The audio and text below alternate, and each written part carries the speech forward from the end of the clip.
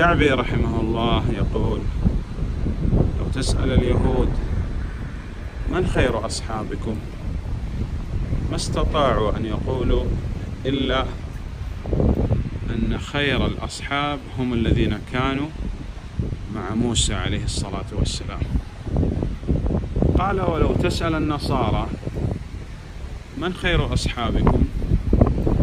ما استطاعوا أن يقولوا إلا أنهم الذين صحبوا عيسى عليه الصلاة والسلام.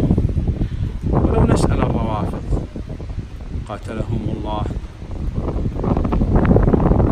من شر أصحابكم؟